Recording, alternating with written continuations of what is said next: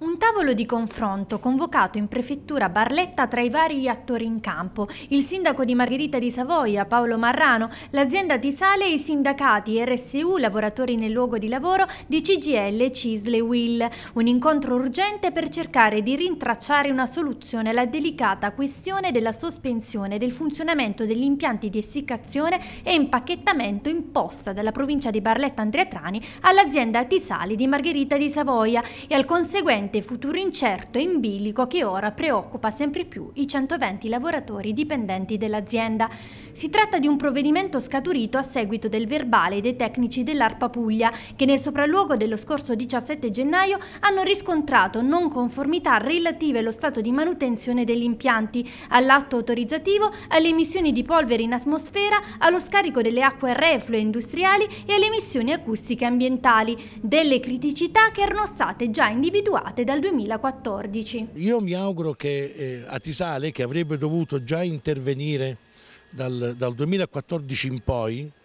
finalmente anche se in concordato preventivo, ma eh, eh, Atisale debba in qualche modo provvedere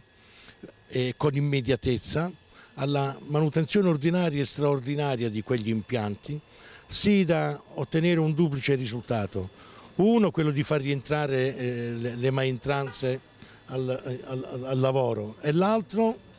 soprattutto è quello di mettere al sicuro la popolazione che ivi, eh, che ivi risiede da, da possibili complicazioni anche a livello salute. Quella di Atisale una realtà produttiva importante per il territorio. Ora occorre mettere in campo la soluzione per cercare sia di salvaguardare l'ambiente che di tutelare il lavoro. Noi siamo preoccupati perché praticamente chiudere lo stabilimento di Atisale in Margherita di Savoia significa mettere 120 unità fuori